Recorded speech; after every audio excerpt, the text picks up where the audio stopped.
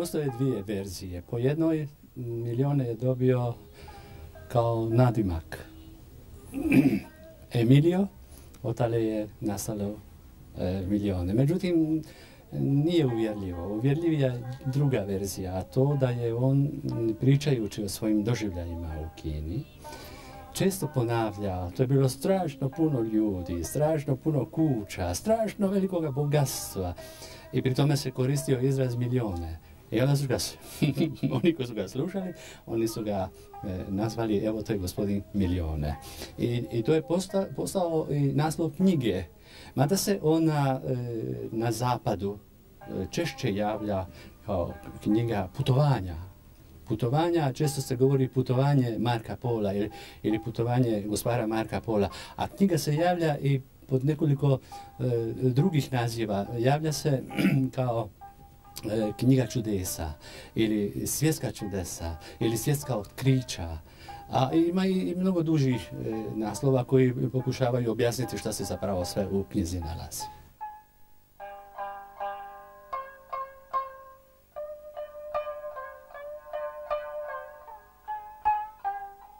U ondašnjoj srednjovjekovnoj Evropi e, mnogo stvari, mnogo odnosa među ljudima, mnogo odnosa u obitelji, mnogo procesa nije bilo poznato. Marko je njima pisao, vrlo jednostavno, vrlo lijepo. I kad ih je objavio u svojim rukopisima, kasnije, kasnije u knjizi, ljudi koji su to u to vrijeme čitali naprosto nisu vjerovali. Smatrali su Marko pretjeruje i te stvari o kojima je on pričao, mnoge od tih stvari nazvali su pravim čudesima. Tako je pričao odnosno pisao, a i pričao kasnije da postoji u Kini kamen koji gori. Zapravo riječ o ugljenu koji se kopao i koji naliči na, na, na kamen koji gori ako ga se dobro pripremi, ako ga se ne čuva, može dugo gorjeti i u tu svrhu je mnogo bolje nego drvo. Ljudi nisu naprosto vjerovali. Onda je bila riječ o azbestu, da se iz zemlje kopa ruda, od koje se kasnije jednim postupkom može praviti odijela. To, to je izgledalo fantastično. Kako je bilo s uljem? E, e, on je blizu Bakova gdje su poznati inače, ovaj, gdje su poznati izvori nafte. On je tamo vidio da nafta teče i kaže ima jedan potok u kojem teče ulje. Ali kaže, pazite, nemojte to koristiti za jelo, nego, ne, ne koristiti za jelo, nego to je ulje koje gori. Znači, riječ je bila o nafti, jel? I ono što je pri tome vrlo važno, to je da, da je Marko prvi u povijesti iznio te, stvari pred Evropljane i da su Evropljani od Marka iz njegove knjige prvi put čuli. I, još mnogo drugo stvari, možda, ih je, možda baš venecijance kao poznate stare trgovce, možda je najviše iznenadilo da se u Kini koristi novac, e, papir za novac. Da su, da su u Kini e, novčanice u prometu. E, naravno, ni ekonomska teorija, ni iskustvo, ništa nije e, pokazivalo e, kako pokriće iza toga stoji. Jednostavno je Marko pisao i Marko je to tako i zapazio, što je, što je razumljivo, da u prometu trgovinskom cirkuliraju, cirkuliraju novčanice od papira. I on, naravno u Veneciji niko nije vjerovao da se za, recimo, šta ja znam, za komad papira može kupiti kuća. Ma kaže, pa je li moguće to? Eto tako, e, tih je stvari bilo jako mnogo. No interesantno je ovo e, o čemu nisam dospio govoriti, to je jako, jako ovaj, opširno bi bilo. Kad je Marko umirao, došao mu je svećenik i rekao je, pazite, svećenik je to rekao, sine moj, e, u životu si mnogo lagao. Prije nego što stupiš pred lice Božje, opozovi to, pokaji se. I Marko mu je odgovorio, oče, sve što sam rekao, nisam rekao ni polovinu onoga što sam vidio. I, i, to je e, u svojoj prilici točno, jer Marko u, u posljednjih nekoliko godina svoga boravka u Kini kad je naslučivao ili vidio da ga neće pustiti iz Kine, on je prestao pisati bilješke, prestao je ono dublje pamtiti i tako dalje i tako dalje.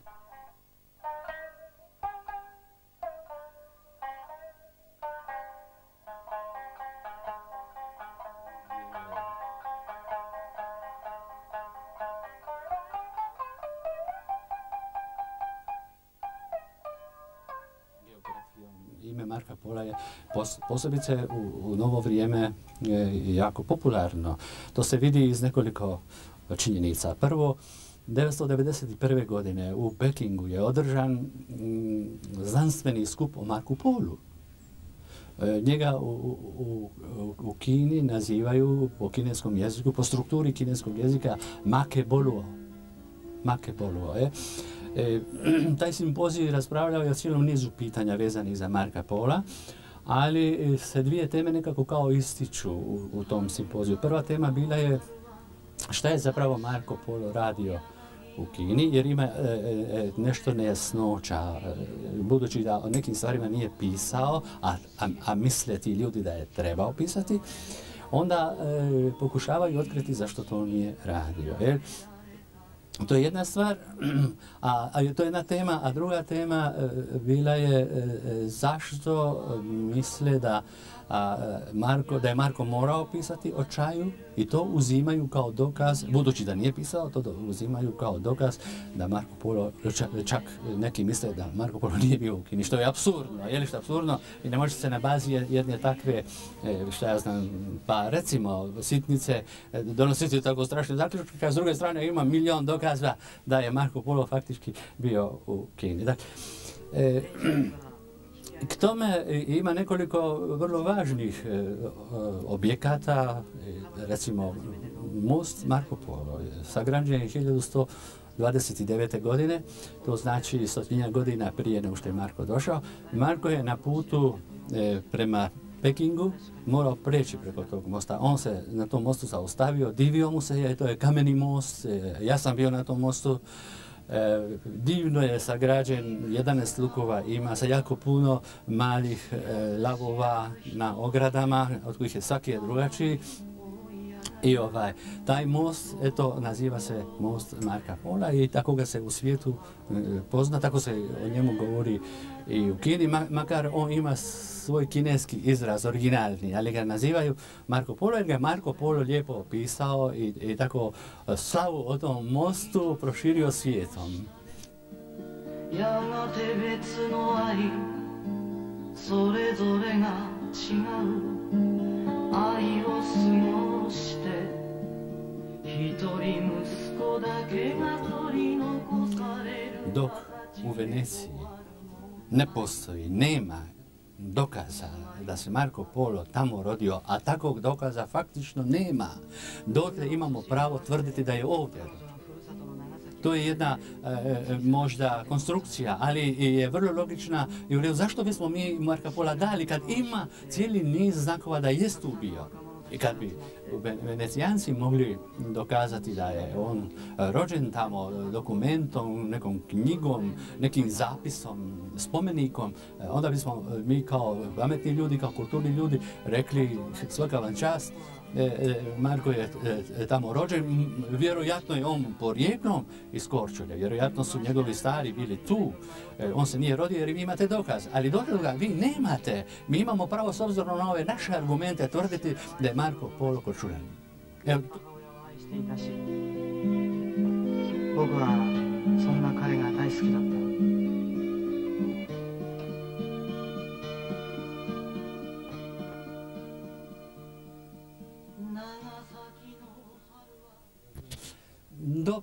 možda nemamo nekih dokumenata, ali je li slučajno on došao se boriti ovdje? Je li on slučajno bio u toj borbi ovdje baš kod Korčule?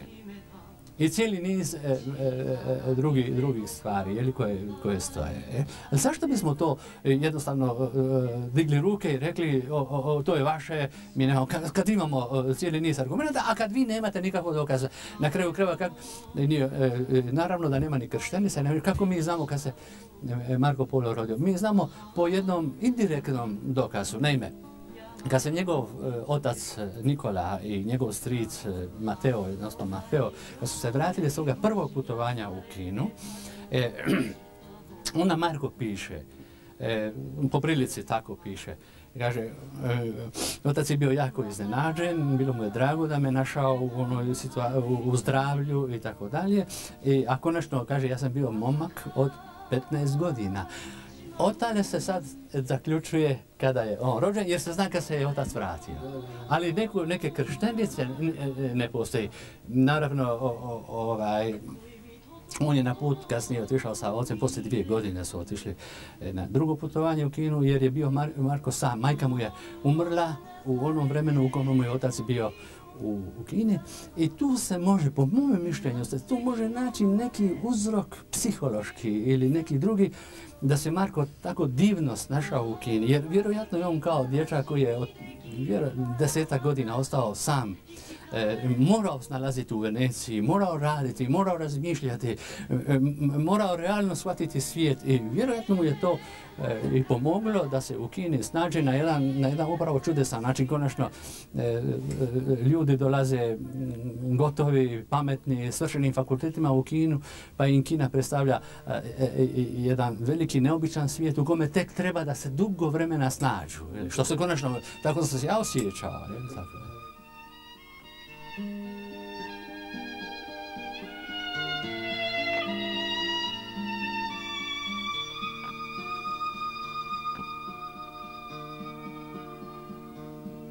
ジャズとクラシック以外は耳を貸さなかった彼女が僕の歌を愛するようになったのはこの頃だった自分の残り時間の全てをかけて息子のために祈り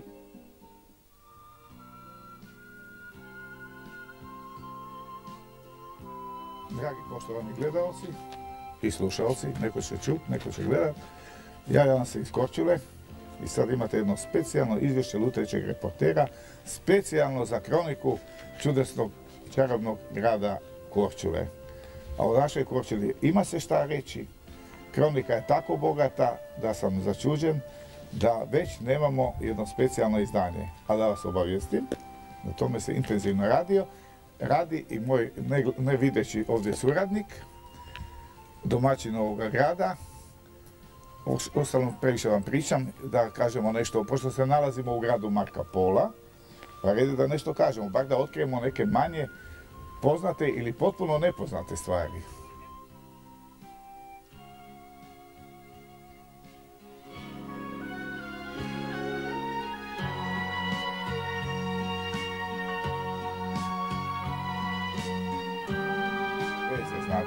sretni smo da imamo jednog takvog velikana, Vidite, e, ime Marka Pola vam je vezano za vezano je za grad Korčulu, ali nemojte, ima i drugih gradova koji se mogu pohvaliti da je Marko Polo recimo bio iz drugog kojeg mjesta, tako na primjer iz grada Šibenika.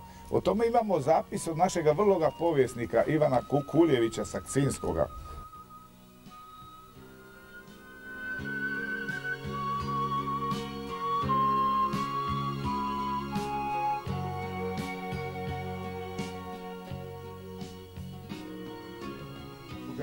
Znate, grbovi su vrlo jedan e, veliki trag za istraživanja i za povijest. Tako i Marko Polo ima svoj grb. Ali zamislite šta, se pronalazi. Meni je evo jako lutiće sam bio možda malo više znati željan, pa sam vam pronašao grb jedan, baš Kukuljević opisuje, vidite, ja ću vam dati datum, u, u arhivu za povijesnicu, znate, pa to je knjiga prva, strana 50 i tako dalje, iz 1851. On govori o plemićima, o ilirskim porodicama, o mletačkom plenstvu i tu spominje obitelj Polo. I sad tu je zanimljivo to je zanimljivo kad kaže ovako, u svom grbu imali su dva crna pileta, pileta, tak piše, a u zagradi poli, sa crvenim nogama na modrom i zlatnom polju. E sad, pasite što se sad događa. Ali, mi imamo jedno izdanje, prvo izdanje miliona, to je veliko dijelo našega jedino, ali veliko, najveće, da tako kažem, od Marka Pola. Imamo jedan, e, u prijevodu ga imamo u prijevodu Zagrebačke mladosti, tak negdje oko 1950. godina. I tu sam našao jednu ilustraciju, to ćemo još kasnije povećati pa što je bolje vidjeti. Vidjet ćete da je da su tu tri već pileta, ali, ti pilići ovdje pileta više mi izgleda nekakve male svrake ili vrane, znate. Ali to nije bitno, ne? E, sad se događa čitava jedna još smješnija stvar, da tako kažem, bar je mene to iznenadilo ugodno. Imamo jedno prekrasno dijelo, uh, grebovnik jedan, znate, takozvani Wapenbuch des Königreich Dalmatien, koja je tiskana u Nürnbergu 1873. godine. Jedan od najvećih stručnjaka za plenstvo i grbove iz pera vam je Kaun K. Hauptmana i tako da, to nije bitno. Zove se Friedrich Heuer von Rosenfeld, natürlich, nicht wahr. I on opisuje grbove. I sad pazite, sad to je ono što je zgodno. I sad već imamo, tu su prikazana dva grba. Vidite, ovaj gornji je stariji, tu već imamo četiri pileta, ali ne više pileta. Sad su to kokotići. Vidite im ove repiće kako uzdižu ponosni kokotići. E, ali sa drugi grb sad kad pogledah, pa to je još smiješnije mi bilo. Sad su se ovi kokotići u grbu, pazite, to je službeni grbovnik, nema drugih i petih, šta ja znam. Zamisle, našao sam onda taj još drugi grb, to je ovaj tu, vidite, tu dole, evo ja vam pokažem prstom.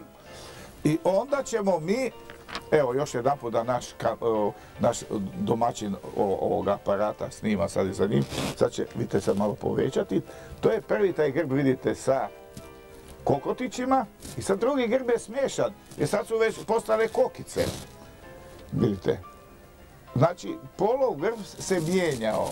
Najprije imamo po Kukoviću dva pileta, onda imamo tri pileta, u onom izdanju Zagrebačke mladosti i u ovome grebovniku najpozvanijem da nešto kaže, pa zamislite sad su četiri ovaj pili, ne, sad su kokice, već i kokoške. I sad ako nađem i peto, mislim, onda ćemo slaviti.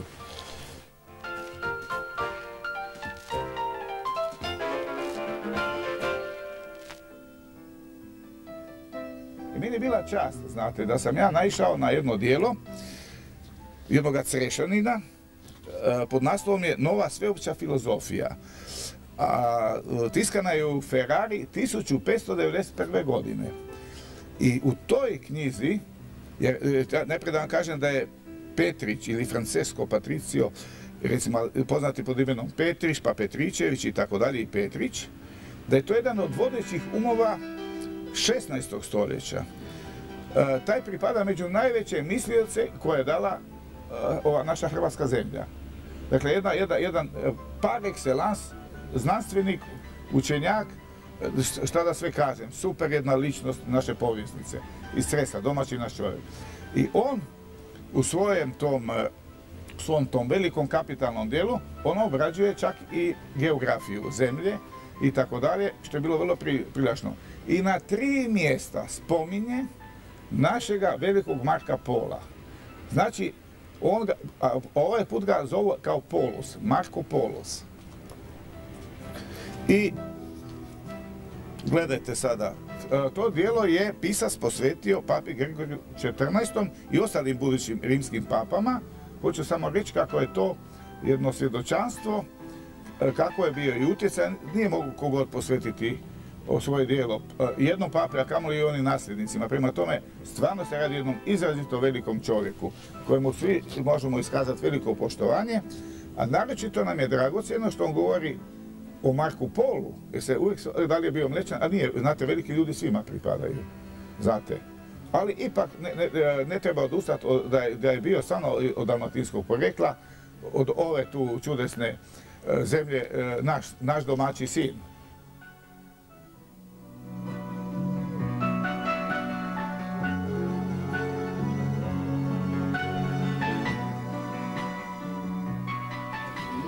Evo, mi se nalazimo ovdje u Lumbarli. To je nekoliko sati iza kad je prestao ovaj naš dvodnevni, dva i pol e, dnevni e, znanstveni skup o istočnom Jadranu za vrijeme Marka Pola u 13. stoljeću. Pa mislim da smo svi bili zadovoljni, naročito što se tiče vrstnih predavanja iz raznih područja, pa su se nama još i priključili dva stranca, jedan iz Velike Britanije, drugi iz Švicarske, tako da je to jedno kompletno bilo izlaganje koje obuhvata praktički sva područja djelovanja i Marka Pola, a i razvoja Dalmacije u to vrijeme njegovo. Sad se nalazimo ovdje u Lumbardi, pa sada možemo i razmišljati o onome što smo danas govorili, pa smo posjetili sada i Ražnić, sa brodom smo bili na Ražniću, gdje se je odigrala ta, taj žestoki boj između Genove, Dženovecke mornarice i Mletačke mornarice i gdje je Marko Polo bio evo, zarobljen i utamničen onda u Dženovi. Prema tome, taj upravo boj je donio da je Marko Polo uspio sa svojim sudrugom u tamnici napisati ovo dijelo Il milione. Ja mislim da je to bio danas završetak i kruna ovoga što smo mi razgovarali danas, a moramo priznati da nas je Aljoša sa svojim predavanjem o tom boju jako ovako razveselio. i iznenadio da, tam, da je on toliko toga, tih podataka našao, pa mislim da ćemo i to uključiti u naše, naša ova predavanja kao jedan recimo zbornik radova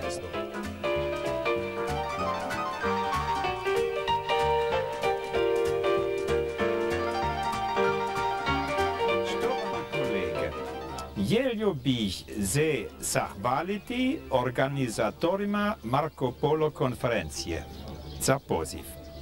Molio bih vas da me ispričate što moje predavanje neće biti na Vratskom. Bio sam ovdje nekoliko dana prošlaga mjeseca prvi put u Hrvatskoj Drago mi je da sam ponovo ovdje. Zahvaljuju i Marku Polu i dužnoznicima konferencije.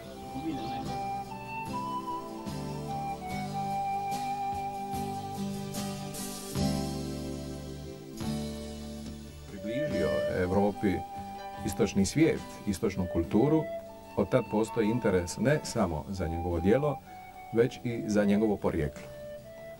Svrha ovog simpozija je bila upravo da usmjeri istraživanje i konstatira što je do sada istraženo u pogledu porijekla Marka Pole.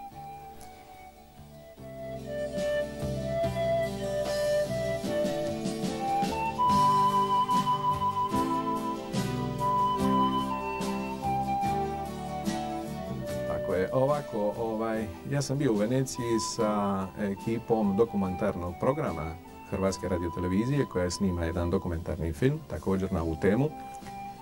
I mi smo tamo zapravo sondirali e, područja, institucije gdje bi trebalo istraživati porijeklo ove obitelji. I mislim da smo u tome dosta napravili, da smo zapravo uspostavili kontakte e, koji će nam omogućiti istraživanje u ovom pravcu. Prije svega bi u Veneciji trebalo istražiti arhiv jedne male crkve gdje su se naši ljudi već u 13. stoljeću pokapali. Dakle, to su doseljenici iz Hrvatskih obala koji su bili vezani uz jednu bratovštinu crkvovnu koja se zvala Skola di Avone. Ta bratovština je e, pri jednoj maloj crkvi i moram reći da je zapravo ona nedaleko od crkve Svetog Lovra u kojoj je i pokopan Marko Polo. Doduše, grob Marka Pola više nije, zapravo nije sačuvan jer je on uništen prilikom rekonstrukcije ove crkve još u 15. stoljeću, ali postoje nesporni pisani dokumenti da je on u toj crkvi i pokopan. Drugi arhiv kojega bi valjano trebalo istražiti, to je arhiv e, Mletačkog arsenala. Naime, treba imati u vidu da je Korčula tradicionalno bila grad vrsnih brodograditelja, i da su mnogi naši ljudi u ekonomskim krizama, tražeći e, egzistenciju, jeli, odlazili u Veneciji i bili vrlo, vrlo priznati e, radnici u tom arsenalu. I ono što je interesantno, oni su se u Veneciji naseljavali gotovo na istim područjima, to je područje, područje grada Venecije zvan Castello, to je neposredno do samog arsenala i područje San Marco. U tom pravcu istraživanja treba istražiti, usmjeriti u ova dva arhiva.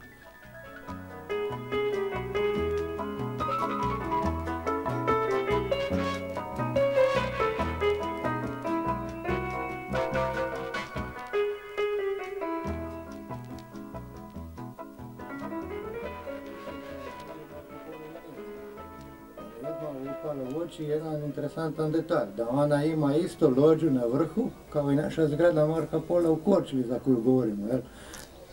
E sad ovako, mi smo pogledali ovaj, tu zgradu i nažalost zgrada u kojoj su Poli živjeli u 13., 14. i 15. stoljeću je porušena. E, na toj poziciji, na tom lokalitetu je sagrađeno ovaj kazalište, jeli, koje je danas u jednom vrlo derutnom stanju.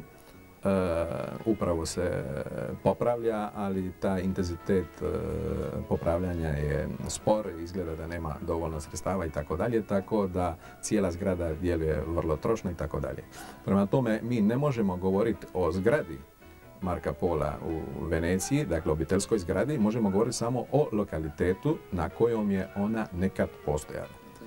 Tako je. Treba imati u vidu da se neposredno u sto kazalište, koji se inače zove Mali Bran, nalazi jedan mali trg gdje su kuće iz 13. stoljeća za koje se prepostavlja jeli, da bi možda mogle biti obiteljske kuće također u kojima su stanovali poli jeli, i taj mali trg se zove Korte e, Milion. Dakle, to je asocijacija na dijelo Marka Pola.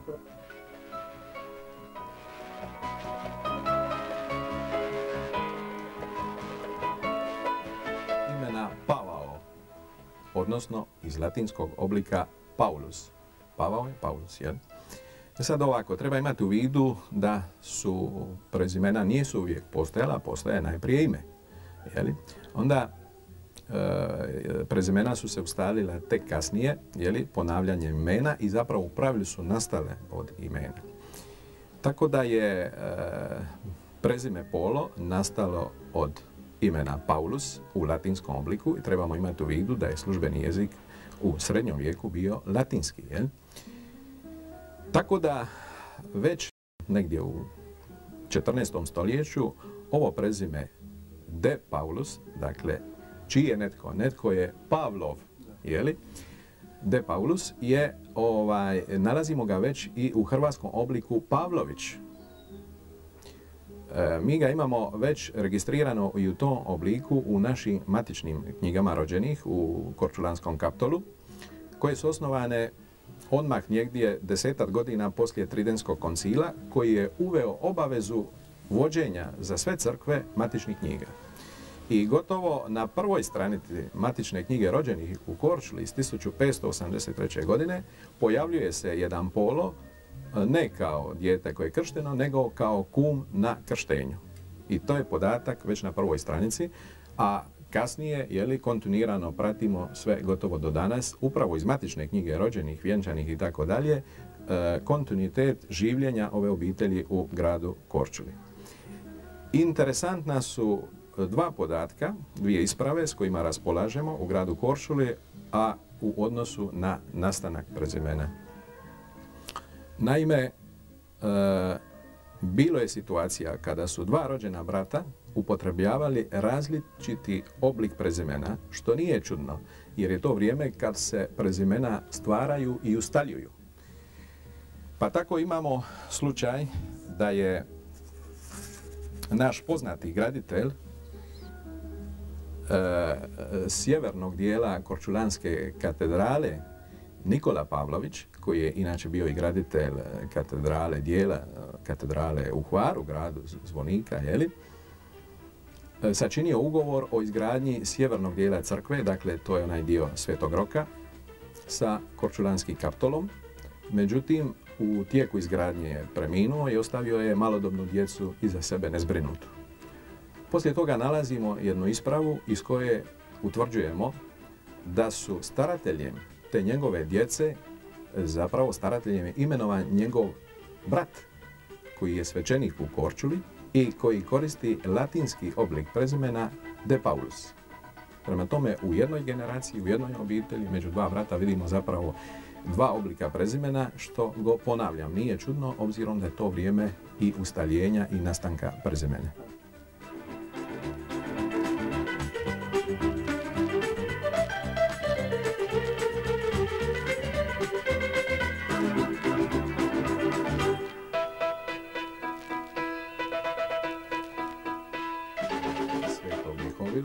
1603. Jeli, povelja sačuvana u, inače u Sare, ove naše bratovštine, jeli, čuva se do danas u izvornom obliku. Nalazimo uh, pet depoli među osnivačima, uz druge osnivače. Jeli. Također, kada vršimo analizu arhiva uh, bratovštine Svetog Roka, posebice popis gaštaldi, priora te bratovštine, jeli, od njezinog osnutka pa do sve od 1805. kad su Francuzi za vrijeme okupacije prekinuli rad bratovštine, vrlo često nalazimo da su poli bili gaštaldi ovaj, te obitelji, te bratovštine. A točno je i to da su danas svi depoli članovi o, e, bratovštine svi u svijetu. Naime, i bratovštine su tijekom svog od osnivanja do danas doživjele određene transformacije. I one su u međuvremenu postale i određene između ostalog i strukovne udruge. Pa je tako nesporan podatak da su svi brodograditelji i drvodjelci bili e, članovi, obite, e, članovi e, bratovštine svi u sveti. Kako je to bilo jedno vrlo učestalo zanimanje s kojim su se depoli bavili, onda je logično u međuvremenu da ih nalazimo zapravo isključivo u bratovštini e, svi sveti, a ranije smo ih nalazili i u drugim bratovštinama.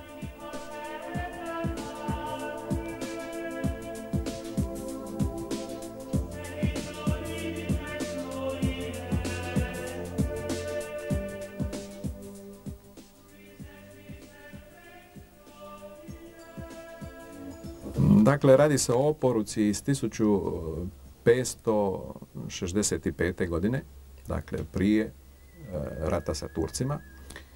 Ta oporuka se danas u izvorniku čuva u povijesnom arhivu u Dubrovniku.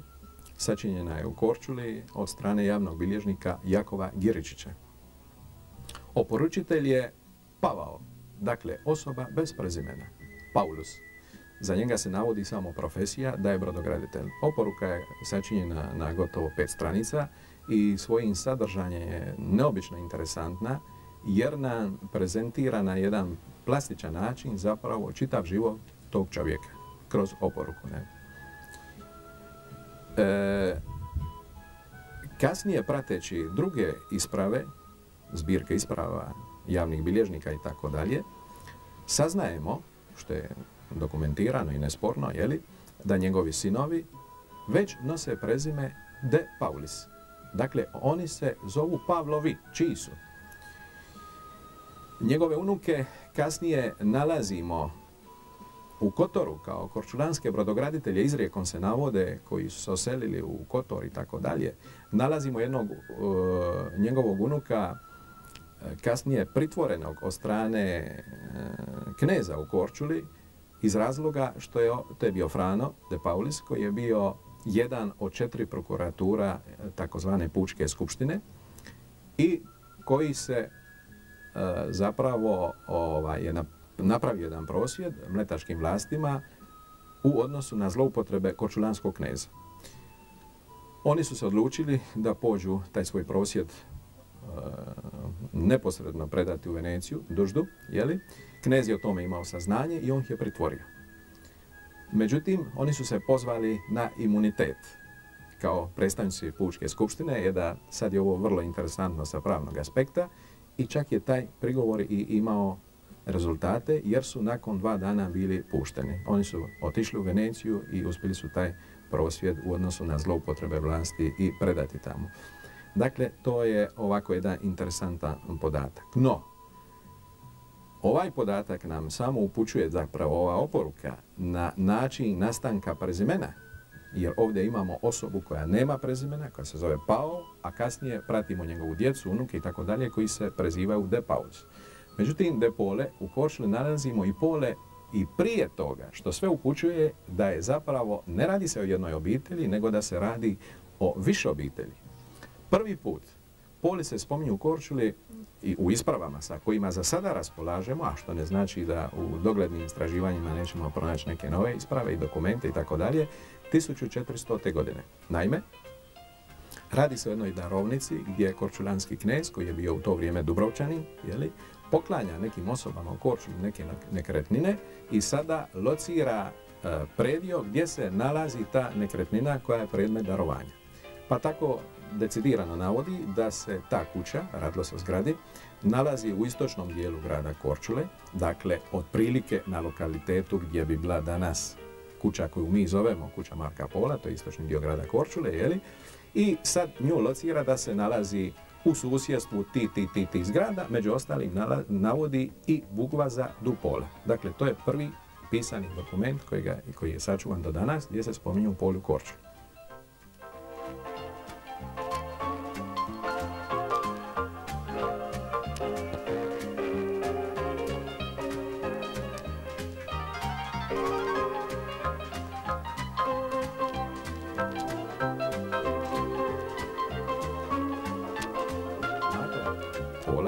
Iz 1430. godine koje on upućuje gradskom vijeću i traži da mu se na istočnoj obali grada Korčule dodijeli zemljište on izrijekom tvrdi tamo gdje su moji pradjedovi gradili brodove, također za potrebe izgradnje brodograđevne radione.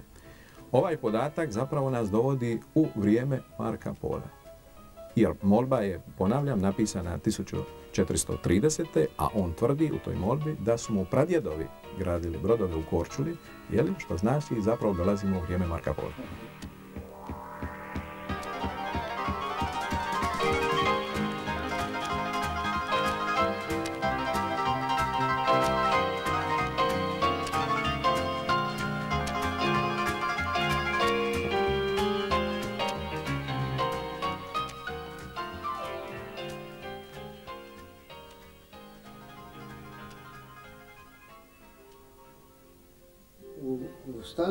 Mišljenje da je u stvari e, prezime Depolo, da nije ništa drugo nego isto kao što Njemci imaju fon ili kao što Italijani imaju isto jedan sufiks koji dolazi ispred, da je u stvari to u stvari plemička titula, je to istina? Ne, to je potpuno pogrešna prosudba, jer ovdje D ne znači kao u njemačkom fon, Dakle, nije nekakva titula koja bi bila aristokratske naravi i tako dalje, plemičkog porijekla, Ovdje je zapravo to, kako sam već i naveo, zapravo e, ovaj, se zapravo u nastanku prezimena de Paulus, od Pavla. Kasnije se u tijeku stoljeća zapravo to de spojilo sa polo i tek u 18. stoljeću se ustalio oblik prezimena de polo spojeno. A do tad smo ga koristili, zapravo nalazimo ga u ispravama u sve tri oblika, dakle nalazimo i Pavloviće sve do 1712 posljednji put se tad spominje u tom obliku. Nalazimo odvojeno Di Paulus, također u 17. stoljeću, a tek negdje sredinom 18. stoljeća, jeli, od tog vremena imamo kontinuirano samo jedan oblik i to je De Paulus spojena.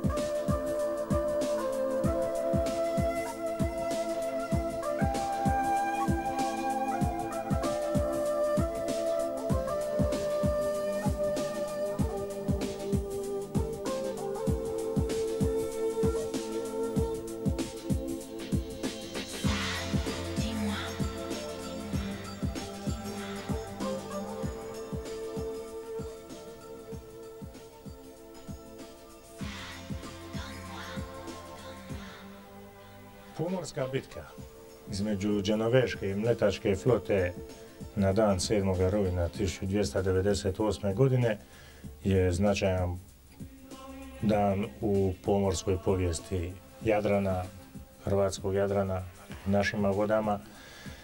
To je bila velika bitka, značajna i za međunarodnu političku povijest toga doba, no ona je ujedno jedan od značajnijih datuma iz života našega velikoga putnika, korčulanina, Marka Pola.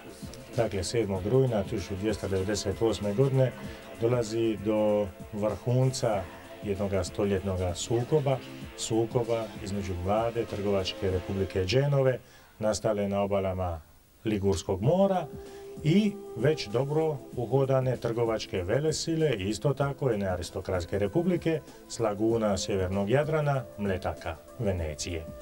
Dakle, oni su već više od jednog stoljeća, oni su već dva stoljeća u sukobima oko prevlasti u, na otocima i lukama Levanta, posebno lukama oko Carigrada, Konstantinopola i samoga grada Carigrada.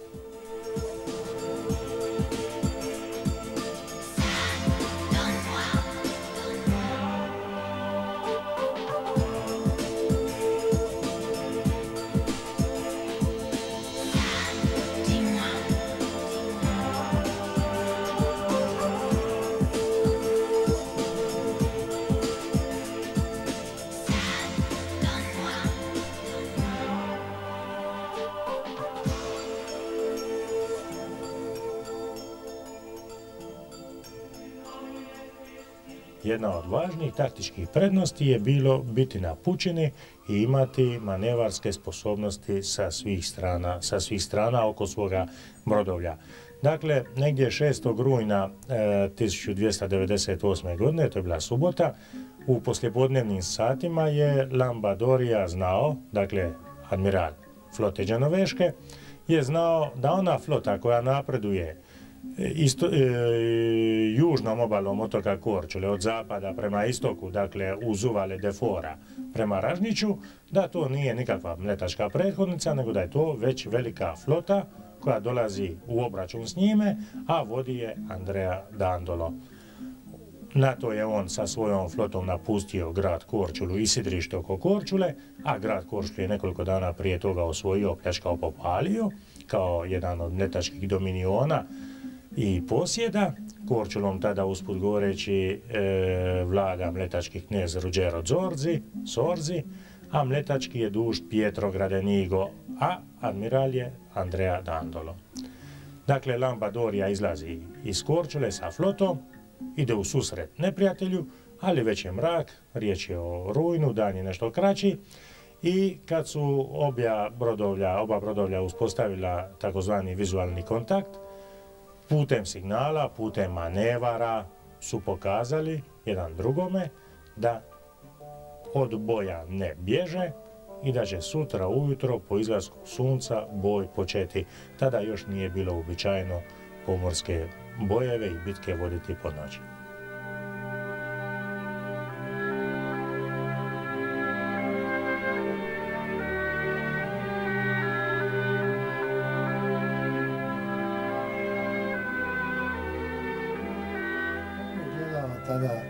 Mletački ili dženoveški brod koji je sudjelovao u toj bitci, možeš reći podatke koliko je imao otprilike jarbula, jedara, vesala, kako je kako je izgledalo, da su to bili baš brodovi koji da, su bili... Dakle, to su brodovi, veliki brodovi, riječ je o galijama, riječ je o galijama koje se još uvijek prvenstveno e, pokreću u veslanje, veslima. Dijelimo ih na jednoveslarke, male, spretne, brze brodiće ali male ubojite sile, male snage oružja na njima i s malo vojnika na njima. Dijelimo ih na dvoveslarke, troveslarke, četvoroveslarke. Dakle, duge od 40 do 60 metara, svakako bilo je i većih, a na sebi su ti brodovi imali od 1 do 3 jarbola. E, na jarbolima su pretežno bila jedra koja mi danas nazivamo peliškima. Dakle, latinska jedra, ali bilo je i križnih, bilo je i križnih jedara.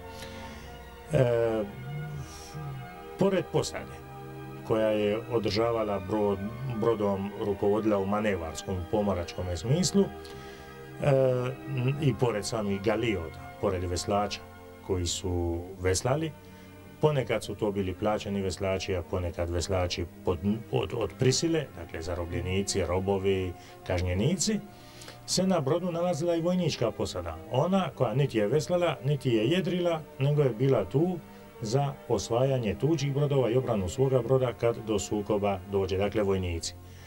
Na čelu broda se nalazio zapovjednik kojemu u, u Mletačkoj mornarici imamo naziv Sopra Komito Imamo par njegovih dočasnika, komita, i svakako onda imamo i jednog e, vrlo važnog časnika, to je zapovjednik e, vojničkog dijela posade, onaj koji vodi oružanu, oružanu borbu.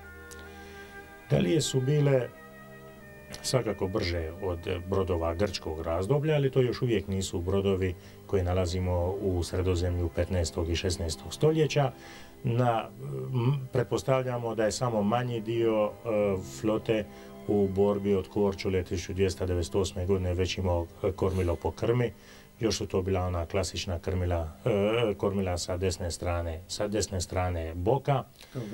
Da. Rekli smo da je taktička pretpostavka bila izići na pučinu, isto je tako bila taktička pretpostavka protivnika zbiti u zavjetrinu, a sam imati položaj privjetrine Flota je tako u trenutku napada u onom prvom početnom zamahu imala veću brzinu jer je jedrila i veslala niz vjetar, bila je brža, a time bila ubojitija. Kljun kojim se probivao neprijateljski brod već u 13. stoljeću gubi svoju važnost i na brodovima ga nemamo.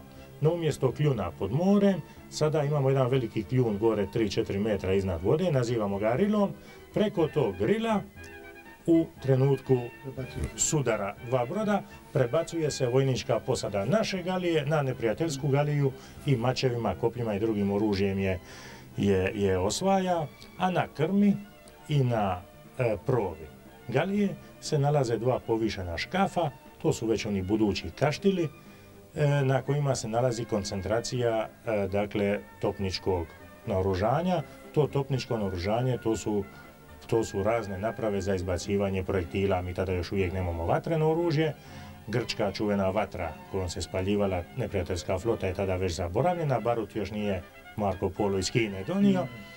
I tako da su to naprave za izbacivanje raznih projektila, katapultevi za izbacivanje kamena, e, e, klaka, klaka isto tako, strelica, klaka za onesposobljavanje e, neprijateljskih vojnika, zaslijepiti, onesposobiti, grize kožu i tako dalje. I što je bilo s bitkom? Kad je bitka u stvari započeta Znači, oni su odgodili bitku za... Za nedjelju ujutro, 7. 7. rujna, bitka je počela odmah sa prvim trakom sunca. E, Dženoveška flota se je nalazila na prostoru, recimo, od Ražnića prema prema Mokalu u tome, a na vanjskoj, dakle na onoj strani koja je imala prednost stranu ujutro, e, je bila mletačka flota, dakle ona je bila negdje na, uporedana u jednome poredku od Ražnića istočno. Inicijativu je u početku prvih sat vremena imala mletačka flota, uspjeli su potopiti deset brodova, poginuo je e, sam sin dženoveškog admirala Lamba Dorije, Oktavijan Dorija je poginuo u borbi. Tom prigodom je Lamba Dorija reagirao na tako junački način da mu još i danas e, drže ploče i spomenike u njegovu počast. A kasnije se ta bojna sreća okrenula u korist Dženovežana i već negdje u ranim popodnevnim satima imamo potpunu premoć Dženovežana, toliku da je Andrea Dandolo, izdao zapovijest jednome dijelu flote, putem svakako raznih stakova, da se spašava i da napušta bojno polje ukoliko ga još mogu čitavi napustiti. Negdje u kasno poslije podne je iz pravca Mljeta doplovilo i 16 galija koje je Lambadorija, dženoveški admiral, držao u taktičkoj rezervi i to je riješilo bitku. Na kraju imamo jedno finale koje je više nego tragično za Venecijance, za Mlečane. Od 90 i nešto brodova, 80 ih je potopljeno ili zarobljeno. 7000 mrtvih, vojnika, veslača i mornara. 7400 zarobljenih, časnika, mornara, vojnika, veslača.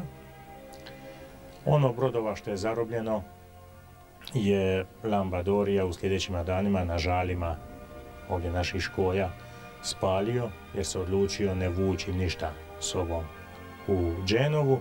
Nije imao toliko vremena, bližila se jesen, zima, on se htio što prije vratiti kući i on se 16. listopada vratio pobjedonosno kući u Dženovu sa ovih 7400 zarobljenika.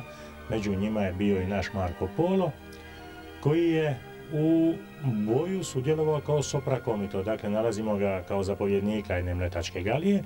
To je po načinu kako se regrutirala mletačka flota bila galija koju je opremila i financirala obitelj Polo. To je bilo uobičajeno. Inače se u floti mletačkoj nalazilo preko trećine galija koje su opremile Kiođa i dalmatinske mletačke komune. Dakle, Marko Apola nalazimo pod Korčulom, on brani svoj rodni grad od dženoveškog napadaja na brodu koji ga je opremila obitelj Polo. E, Marko Polo je zarobljen, ali suvremenici pišu o njegovom junačkom držanju. Zarobljen je i mletački admiral Andreja Dandolo, no on je drugi, treći dan zarobljeništva, još ovdje u vezanu Korčulanskoj luci, Okovan, e, zaključio da on sramotu e, sprovođenja trgovima i rivama i ulicama Dženove, Okovan kao rob, sebi dozvoliti ne može, ipak je on sin jednog velikog mletačkog dužda, koji je deseta godina prije ove borbe umro. I on je skončao svoj život slomivši svoju glavu, slomivši svoju lubanju o veslački banak o koji je bio okovan. Dakle, koliko god je poraz pretrpio, toliko se herojski oživota kao gubitnik u tome velikome porezu, noseći odgovornost svakako i za onih 7000 mrtvih i za jednu izgubljenu flotu, on se od toga života onda herojski i rastao.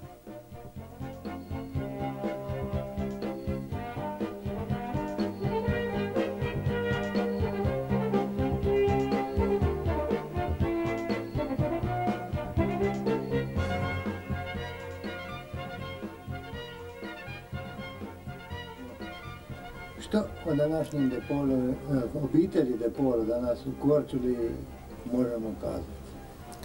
Ukratko, ovako malo obiteljskim vezama, da kažemo po prilici koliki je broj, koliko obitelji još Depola ima danas u Korčuli živući. To je zanimljivo ipak e, na kraju kad smo sve ove podatke podastrili da znamo i ovo. Da, da, da. Pa, koliko je meni poznato, danas u Košli imamo 18 muškaraca sa prezimenom De Polo, dakle, obitelji, što se tiče broja članova obitelji, dosta ovaj, više, ne? Muškaraca ima, dakle, 18. Međutim, eh, De Pola iz Korčule imamo u raznim gradovima, počev od Dubrovnika, Splita, Zagreba, eh, Atene, Londona, Onda na novim kontinentima, dakle imamo na Novom Zelandu, imamo Australiji, imamo u Sjevernoj i Južnoj Americi i tako dalje. I e, oni su svi e, porijeklom iz Korčule, čak do danas održavaju obiteljske veze, jeli? Imamo jedan interesantan podatak o dvojice braći, braće Depola, koji su se u onom stoljeću kao brodograditelji selili u Ameriku i nastanili se u New Orleansu. Oni su pred ovaj rat, dakle pred 5-6 godina posjetili Korčulu, s njima sam imao kontakt i tako dalje i oni su mi e, donijeli jedan izvod iz njihovih matica tamo gdje su se nastanili i tako dalje i to je sad već obitelj u širom smislu riječi gotovo od 70-80 osoba. Ne? Onda imamo interesantno, imamo u Ateni također porijeklom su ovaj, iz Korčule jednu obitelj. Uh, jedan od predstavnika te obitelji je čak bio i predstavnik turističkog jedne turističke udruge e, Grčke u Londonu. On je i zatražio čak sada i našu domovnicu i tako dalje, jeli?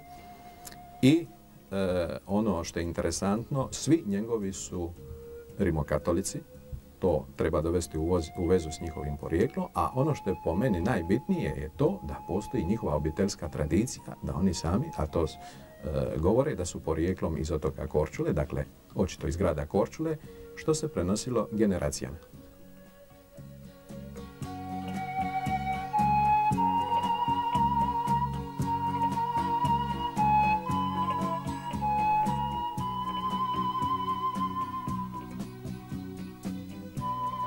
Ima još neko od da se bavi Pa danas... Zanimanje, struka da. nas.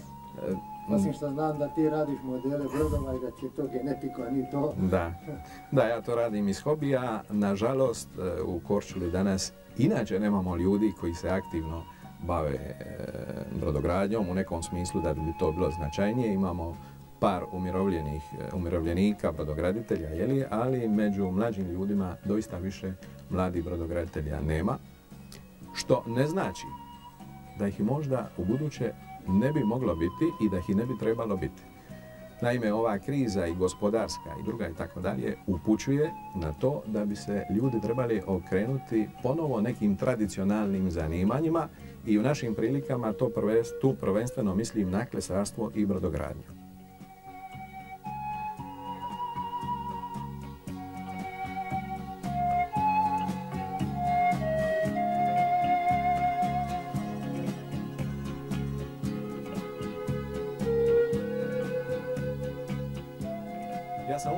Pred skoro vrijeme našao jedan vrlo interesantan podatak u Dubrovačkom arhivu.